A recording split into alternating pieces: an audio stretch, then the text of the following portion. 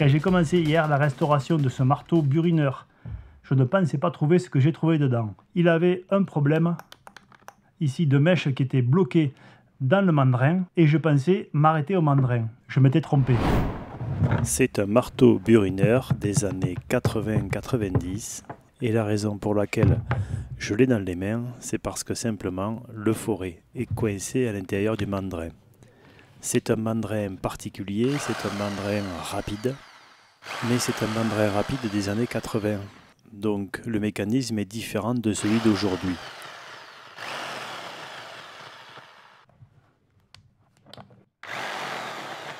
On voit que le marteau bruneur fonctionne correctement. Les trois fonctions qui sont le perçage, le burinage et le burinage en rotation fonctionnent. Et j'avoue que j'ai mis un moment à chercher, à savoir comment arriver à démonter ce fichu mandrin. Je suis parti du principe que comme le, marteau burineur fonctionnait, il ne pouvait pas être vraiment cassé, c'est-à-dire que la bague ne reculait pas, parce que si ça avait été le cas, ça voulait dire que l'ensemble aurait reculé. Et je me suis dit que si l'ensemble avait reculé, ça ne fonctionnerait pas.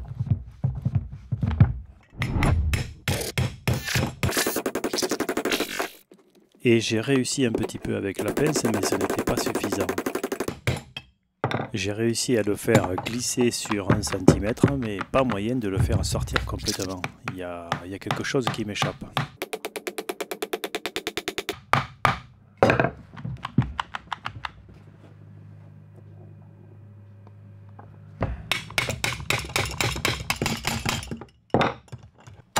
Alors je décide d'employer les grands moyens et de démonter la moitié du burineur, c'est-à-dire toute la partie mécanique derrière le moteur.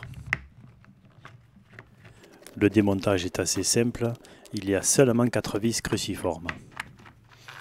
Dans cette phase de démontage, quand on ne connaît pas, il vaut mieux prendre son temps parce que il se peut que les pièces se retrouvent en vrac à l'intérieur et après pour les remonter ça peut être embêtant. Donc il vaut mieux essayer de le démonter sans trop brusquer les choses.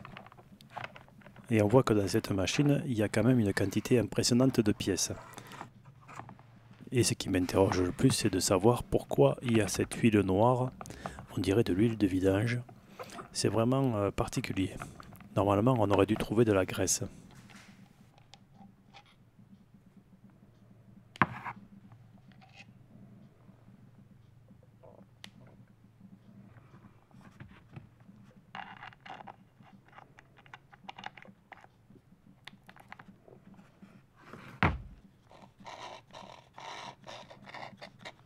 Voilà, là j'ai trouvé la première pièce cassée. Ça semble être une rondelle. Je ne sais pas encore à cette étape-là, j'arrive pas à déterminer ce que c'est. Mais c'est une pièce cassée, ça se voit tout de suite.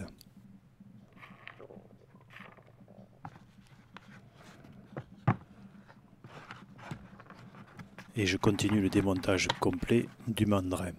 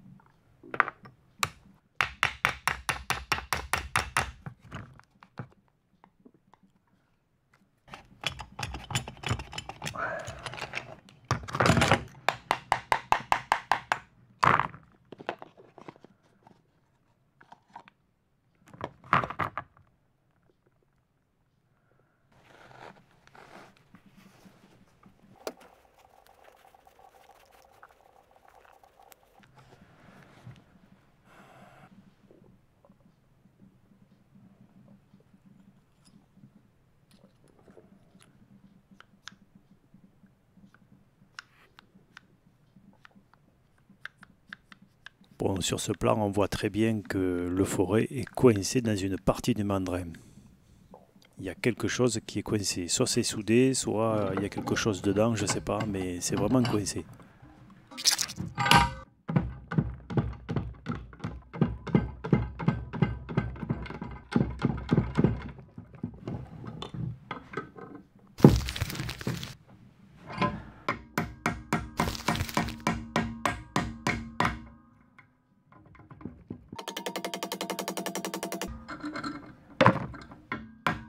Qui m'avait confié ce marteau burineur m'avait dit de toute façon, si tu n'arrives pas à le réparer, on le rebutera. Donc je me suis dit que je n'avais rien à perdre à taper dessus. De toute façon, comme on ne peut plus enlever le forêt, il n'y a pas de question à se poser. Euh, il faut arriver à le sortir. Et pour le sortir, j'ai bien cru que je n'y arriverais pas.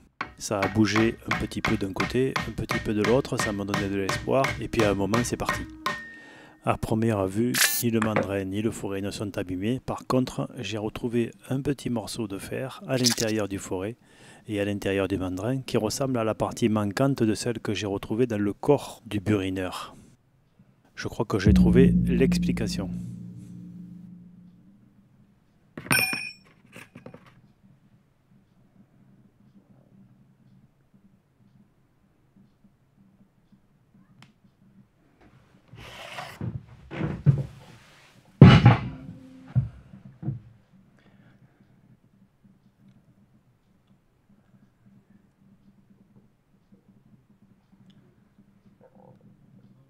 Je fais un petit peu des nettoyages avant de regarder tout ce que j'ai et de voir si je dois aller plus loin dans le démontage ou non.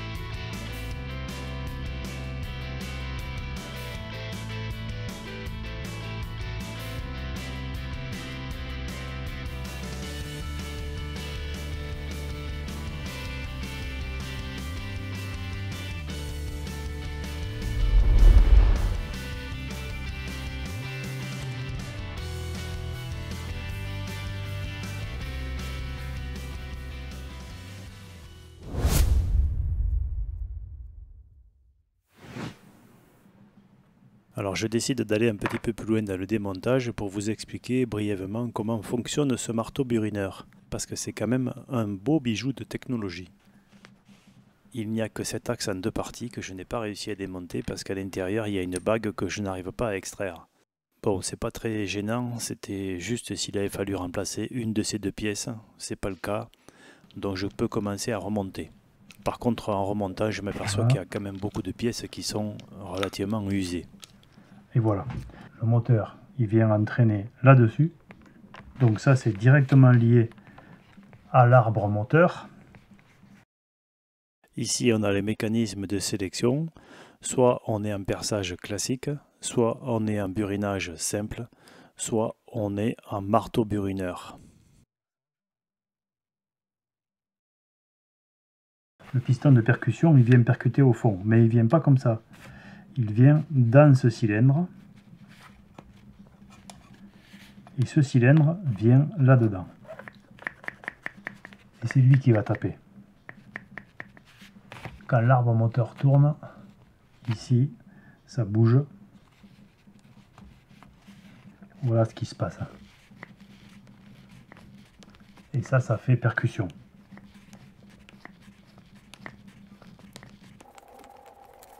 Alors le système à percussion il est donc ici. Je le renlève. Avec deux trous. Ici on a l'air qui peut s'échapper sur deux trous. Ensuite ici l'air ne s'échappe plus que sur un trou. Et quand on arrive ici, l'air ne s'échappe plus, on comprime.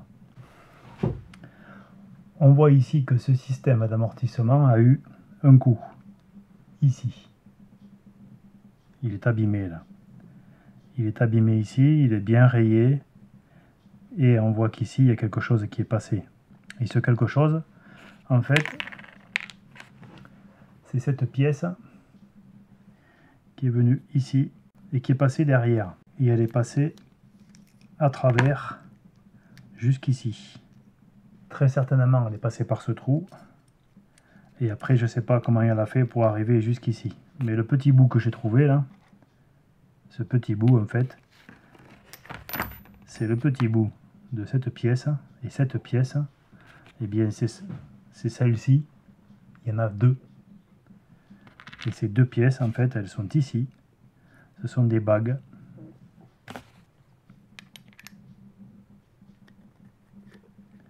Donc là, il n'y en a plus qu'une. Ce sont des bagues qui viennent centrer l'axe. Et là, eh bien, on voit qu'il y a du jeu. Il y avait cette bague ici, là, pour centrer. Et ça a cassé. Donc maintenant, ça bouge comme ça, ça ne devrait pas bouger. C'est une cale à rectifier et je ne peux malheureusement pas la refaire. Alors on voit que tout le système est assez vieux parce que ce roulement ici, ce roulement, il ne devrait pas se monter comme ça, il devrait se monter en force légèrement. Or là, eh bien, il a du jeu. Quand on le fait tourner, on l'entend. Donc ce roulement est abîmé, il faudrait le changer aussi. Cette pièce est abîmée, il faudrait la changer aussi. Il faudrait changer cette pièce. Bon, je ne vais pas changer ces pièces. Je vais remonter comme ça.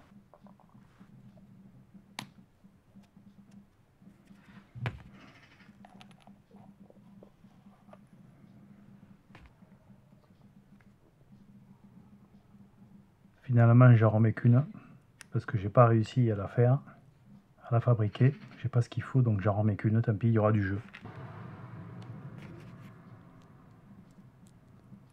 Pour le remontage, eh bien, c'est le processus inverse du démontage. J'en profite pour mettre un petit peu d'huile un petit peu partout, euh, notamment au montage pour éviter d'abîmer les pièces qui seraient encore bonnes.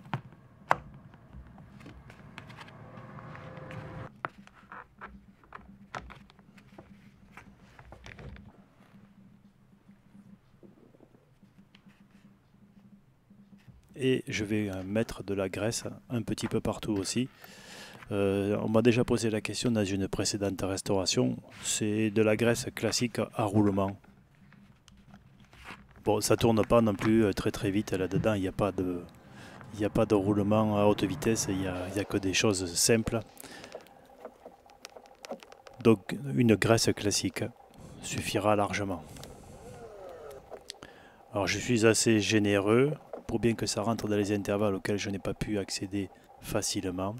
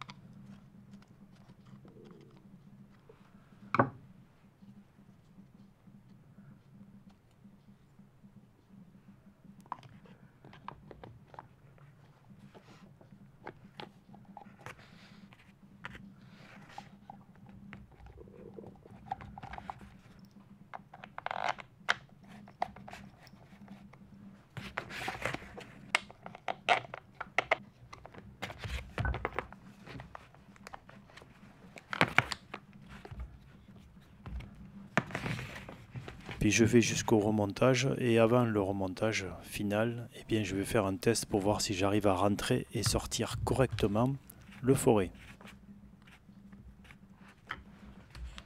Le petit morceau de rondelle qui était cassé est venu se mettre dans cette petite bille, ou tout du moins dans son logement, ce qui empêchait la douille de tourner. Je pense que c'est ça qui a fait que le mandrin ne tournait plus. Parce que cette bille, elle doit bien être montée comme on la voit à l'écran, c'est-à-dire coincée par les lames de ressort. Et il ne faut pas que la lame de ressort vienne recouvrir la bille, sinon ça ne fonctionne pas.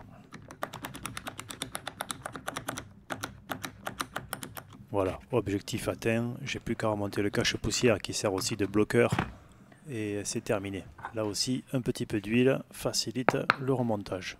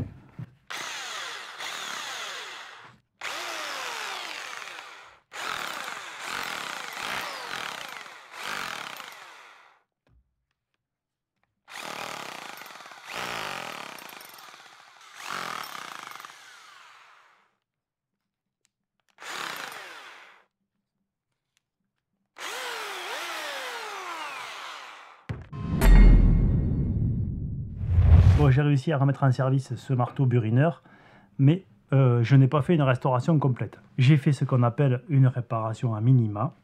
Euh, je n'ai pas commandé de pièces, ce marteau n'est pas à moi. Et il m'a été confié uniquement, comme je le disais au début, à cause d'un forêt coincé dans le mandrin. Et absolument pas à cause de toutes les pièces détériorées que j'ai trouvées à l'intérieur. Bon, le mécanisme est quand même un petit peu plus compliqué qu'une roue à rocher simple que l'on trouve dans les modèles bas de gamme. Ici, il y avait vraiment un mécanisme de burinage qui est assez sophistiqué d'ailleurs c'était une marque à l'origine pour les professionnels. Ce sont des machines qui coûtaient assez cher. Euh, je ne sais pas ce qu'il y a dans les modèles d'aujourd'hui, je ne les connais pas, mais dans celui-là, il y avait quand même pas mal de pièces.